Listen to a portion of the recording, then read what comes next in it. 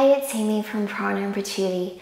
Welcome to this quick tutorial for one of my all-time favorite poses, legs up the wall or Viparita Karani. You'll want to have a clear wall space, although if you don't have that, you can always do this against furniture. You can grab a chair and drape your shins over the edge of the chair, your sofa, even your bed, and that works just as well.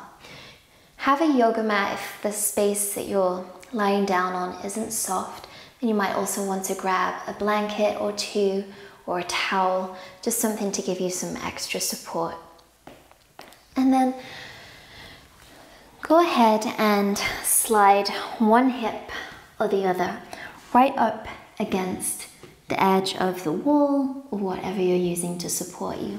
I like to have the blanket at the top of the mat or behind me when I come up just to support my head. So I'm going to show you how that works now. You can swing your legs all the way up the wall and then lower yourself down onto your back.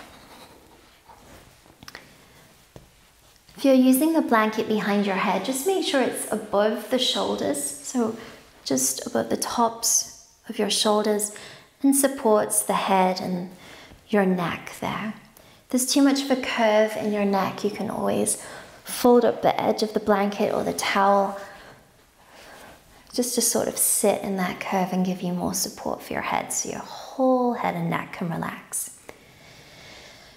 Now you might notice here that my hips are quite far away from the wall. And if you feel like you have quite tight hamstrings, then just having the hips further away might be more comfortable, especially in your lower back and it just allows the knees to soften and bend a little bit more. You can even bend the knees so much that you place the feet flat on the wall. Another nice way of supporting yourself, if you feel this in the backs of the legs, is to use your blanket and just roll it up and place it underneath your pelvis. And this will just support your lower back and your legs even more.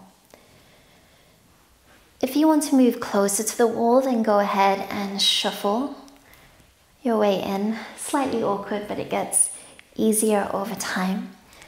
You can even have, have your hips right up against the edge of the wall. And the legs can just extend, and I still have space to soften the knees.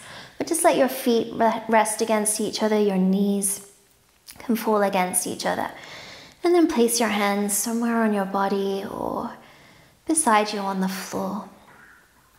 And just allow yourself to relax and rest and enjoy the pose for anywhere up to 20 minutes. It's a great one to do before bed. You can even do it in bed with your legs up against the headboard or the wall. But anytime you need to press pause, I highly recommend this pose.